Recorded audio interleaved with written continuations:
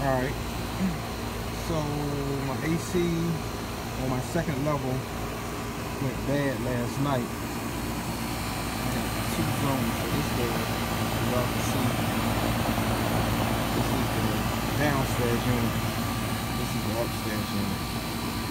So came out check it. And um, like I said, first of all, before you do anything, shut off the power. Two circuit breakers. Um,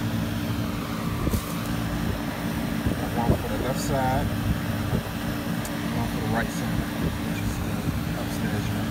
I'm going to turn this off. And um, what you want to do, like I say, I say two wires, you know, going to this, the, this is the compressor wire, this blue wire on mine.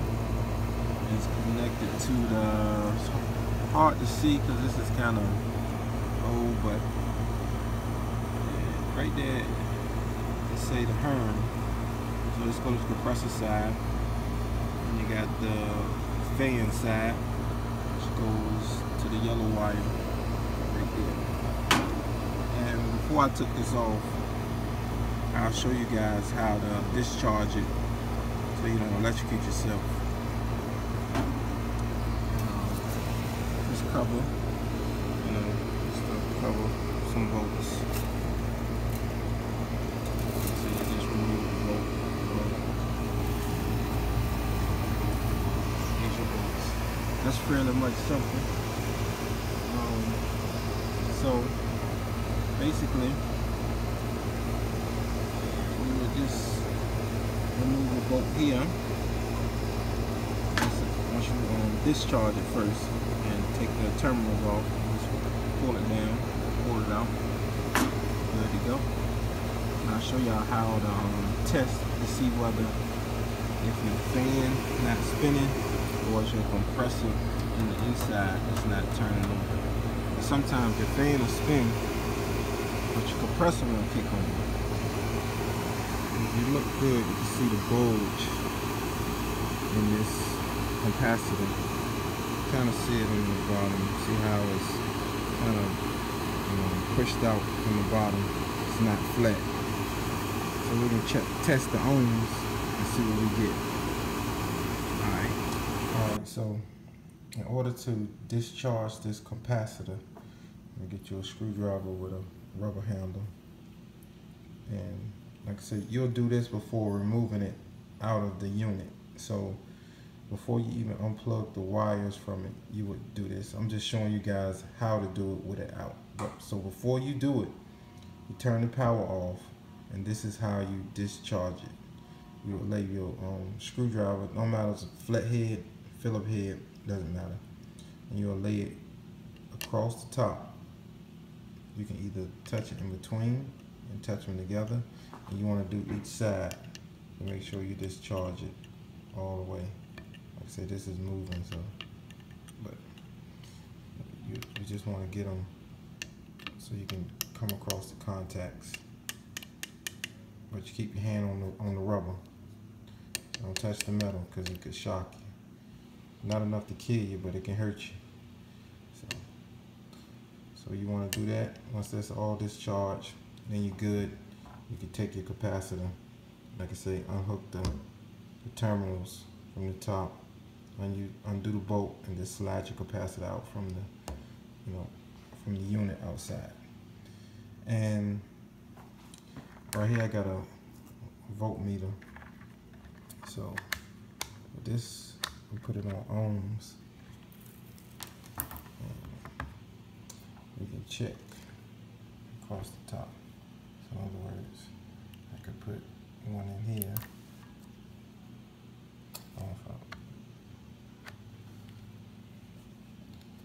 Sorry, I'm doing this with one hand. So in other words, you could put I place these two.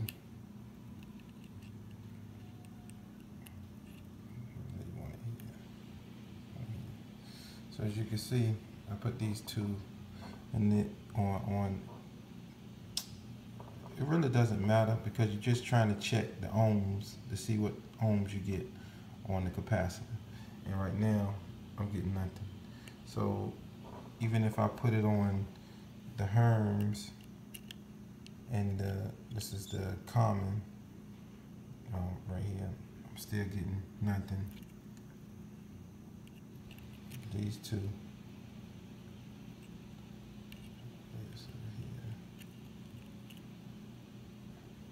Still getting nothing.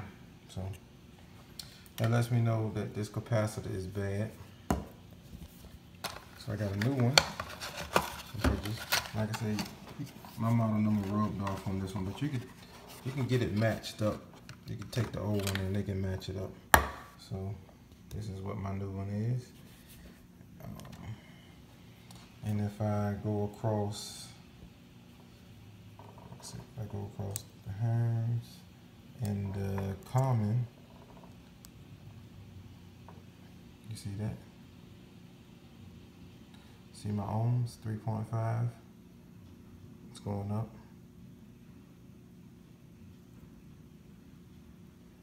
That lets me know that this capacitor is good.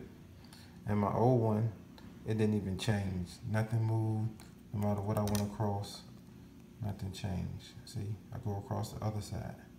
It changed, seven, eight. So, so if you want to get you these don't cost that much. You can go to Walmart. Um, you can go to um, any any little you know electronic store. I don't know. Some people might still have a Radio Shack, but I recommend just going to Walmart and get this, and um, you're good to go if you want to you know do your own diagnostics of um, AC unit outside. So basically that's it. You just put everything back together normal.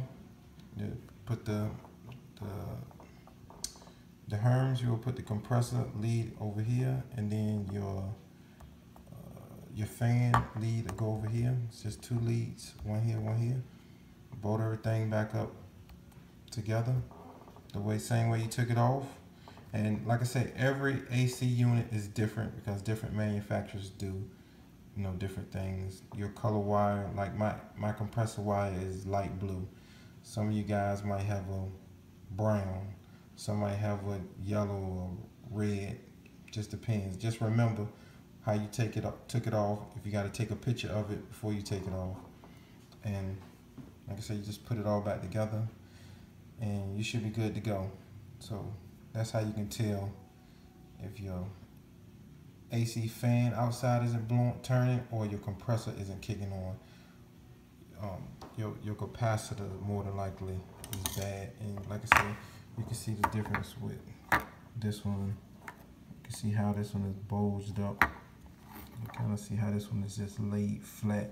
And then you can see how it's bulged at the bottom. It's hard to really tell. Look at look at it like that. You can see it bubble up I got a, got a round bottom versus a flat versus this has a flat bottom. So I'm gonna put this back together and we're gonna see what happens from there. So I put the new one in and it's a little bit bigger than the original one so screw get it tight but you want it too tight, just enough to hold the capacitor up up in there. So, and then just put this cover back on on my bolts. Turn my power on. On one side, turn the unit on, and you're good to go. So, thanks for watching.